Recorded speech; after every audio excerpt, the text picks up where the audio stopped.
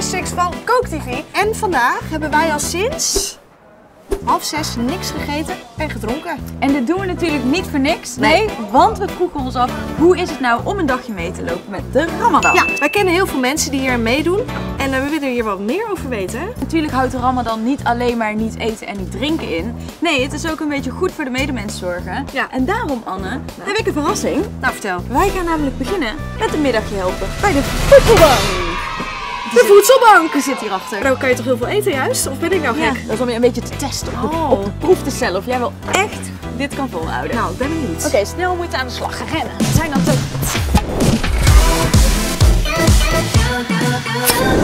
Wat doen jullie hier eigenlijk precies? Nou ja, je bent hier bij de Islamitische Voedselbank. Voor de 130 gezinnen maken wij hier een voedselpakket. En dat zijn ook allemaal halal natuurlijk. Ja, Ja. ja. er zit geen alcohol in, er zit geen varken in, er zit geen gelatine in. Dat is waar wij op letten. Ja. En voor de rest is het eigenlijk net zoals de gewone voedselbank. Dus ja, of ze moslim zijn of niet, dat maakt voor ons niet uit. Wat betekent de Ramadan voor jou? Ja, Ramadan betekent eigenlijk heel veel. Zorgen voor de armen. Kijk, wij doen het heel het jaar door. Maar eh, dat de moslims eh, in deze maand meer stilstaan bij hun eh, medemens. Ik, vond het echt, eh, ik vind het echt Inspirerend Ja. ook. Ja, Leuk ook. Dat Ja. jullie de aandacht aan willen geven is voor ons ook heel belangrijk. Ja, natuurlijk. Ja. Ja. lekker. Sporten. Oh, ja. Oké, beweeg ze. Nog een keer. Hebben jullie wel gegeten vandaag? Maar je vasten. Aan het vasten, ja. Dat is toch Oh, bizar dat je meedoet aan de Ramadan en dan ook nog eens van die zware dingen tilt? Dat is toch knap? En hoe gaat het hier? Ja, we zijn even zo een beetje het aan het verdelen. Ja. Krijg je nou niet honger van? Ik wel. Hoe gaat het met jou? Ik vind het eigenlijk nog wel goed gaan, maar als je dan het een maand zou moeten doen, het is wel heel knap. Nou, ik, eh, ik voel me wel echt een beetje... Beetje slap? Een, een watje, maar als, toen ik net die bus leeg zat te ruimen, Ja. ging ik gewoon bijna van mijn stok, joh. Ja, maar Oh nee! knap.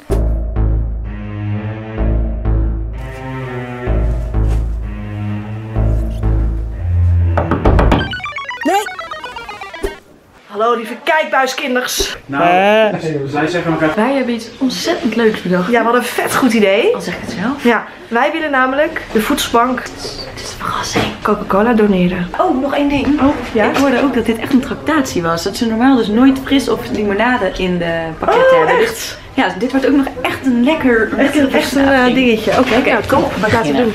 Ik heb zelfs een heel mooi romantisch inzoom momentje. Nou, toppie. Heel veel succes nog met alles. Diepe respect voor iedereen. Jullie echt bedankt. En we hebben nog een eh, cadeautje in de kist achtergelaten. Oh, dus, spannend. eh, Dankjewel.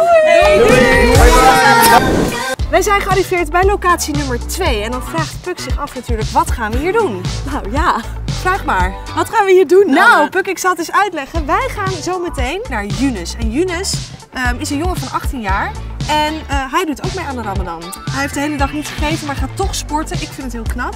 Dus eh, ik wil hem eigenlijk een beetje ja, vragen stellen erover. Oké, nou, ik zou er niet aan moeten denken om nu te voetballen. Nee, Maar eh, hij staat al klaar in zijn tenuutje, dus eh, laten we erop afgaan. laten we gaan. Te nu? Of wil je te later? Yunus! Hi, Anne. Hi, Puk. Hey, eh, ja, wij mogen meedoen, toch? Ja, zeker, maar dat kan niet in deze kleding. Oké. Niet? Nee. Je hebt ook maar één setje, zie ik. Nee, ja. Oké. Oh, die is voor Anne. Anne is sportief. Is goed. En wat wordt mijn rol? Scheidsrechter? Ja. Ga me even omkleden. I got tons of soul, I'm a true collectible. Famous, also famous, number one desirable. I do what I want when I want and how I want it. Leave you with the one in the air, that's how I roll.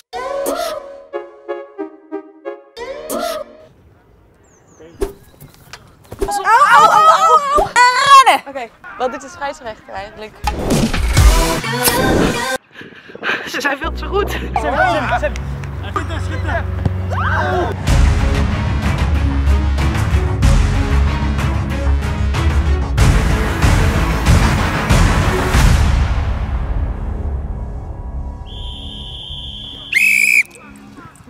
Overtreding. Wish me luck.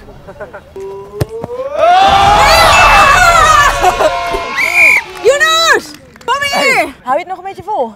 Ja, gaat op zich wel. En wat ga je hierna doen? Eh, ik ga als eerst douchen en dan ga ik eh, naar huis. Mijn moeder heeft allemaal lekkere dingen gekookt. Dus als jullie willen, kunnen jullie wel mee eten. Maar dan moet je wel helpen met koken.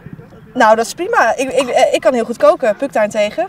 Kun je ook een beetje die sfeer meemaken? Ja, Oké, tot zo. Doei! Oh, eten. Ik kan jou bijna wel opeten. Ja, ik ook. Oh, man. Lekker potje gevoetbald, hè? Het is echt helemaal dik. Auw! We zijn er. Ik ruik al heerlijke gerechten. Oké, laten we naar binnen gaan. Ja. Zal ik één keer de ander doen? Ja, één keer de Anne. Doe maar. Heel kort. Oh.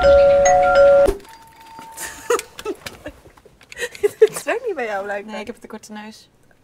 Vind je dat ik een Hey! Ben jij de zus van Junus? Zeker. Mijn moeder is helemaal klaar voor jullie.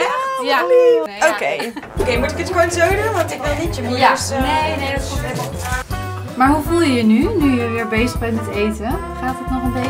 Of, eh? Ja, het gaat wel, maar ik heb wel echt eh, Ja? heel veel honger. Maar het is dus nu bijna donker. Het Ja. wordt donker. Maar hoe weet je nou wanneer je aan tafel mag? Daar heb je dus een hele mooie lijst voor. Eigenlijk mag je alleen eten als de zon onder is. Oké. En dan heb je hier een kolom met tijd dat je mag eten. Vandaag staat het dat om eh 21 uur 48. En iedereen houdt zich hier aan. En onze lengteboog, dus in Ermuiden waar wij wonen, daar eh, houdt iedereen Mhm. is zich aan dit. deze. Ja. Oké. En, En hoe laat? acht minuten mag je eten.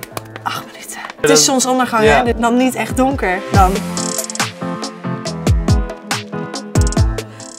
Ik hoop het nou begin maar. Het ziet er ook zo mooi uit. Jullie mogen wel in ook. Ja? Wat je zo aandenkt. Nee. Dus als je dan wakker wordt morgenochtend en je hebt je wekker gezet extra vroeg, ga je dan echt heel veel eten voordat je de dag begint? Ik kan je niet helemaal volstouwen, want je moet daarna natuurlijk ook weer slapen. Wij staan op rond drie uur en dan zitten we eigenlijk wel bijna tot vier uur wel Ja. aan tafel. Maar dan ga je daarna ga je weer slapen. Ja, Of je blijft wakker, dat doe ik meestal. We waren vandaag dus bij die voedselbank. En toen hebben we met heel veel mensen gewerkt die ook dus aan de Ramadan meededen. Maar die zijn dus de hele dag met voedsel bezig. Maar ja, iedereen gaat gewoon door met hun leven. Ook ja het is ook een beetje een mindset of zo. Ja. Je zet jezelf er gewoon toe en Ja. eigenlijk na een tijdje heb je daar ook niet zoveel meer last van. Zo, wat een dag. Ja, Het is echt mooi om te zien hoe ja, er even stil wordt gestaan bij medemens. ja Dat zeker. moeten wij ook eens vaker doen. Nou, en dan wordt er ook nog eens zo heerlijk gekookt. En mogen wij hier eten. Dat is echt ontzettend lief. Dus Ja. bedankt. Oh, ik zit zo vol. Ik zit ook zo vol. Ontzettend lief dat we daar Ja. mochten eten. Dus bedankt, de lieve familie van Julius. Ja. En eh, nou, we vonden het echt een topdag. Echt een Inspirerend. beetje inspirerend en ik Ja. ben een beetje door geraakt. gewoon. Ik ook. Jongens, vonden jullie dit ook een leuke video? Laat het even weten in de comments. En als jullie zoiets hebben van, hé, hey, weet je, misschien kunnen Anne en Puk dit wel eens even anders gaan doen. Ja. Ja, dan doen wij dat gewoon. Doen wij dat gewoon. Ja, en eh, vergeet geen duimpje omhoog te doen natuurlijk. En eh, te abonneren, want dan mis je niks van ons. Ik denk dat wij lekker gaan slapen, hè? Doei! Watermeloentje, zag ik nog. En lange thee. Wakker staan, hè?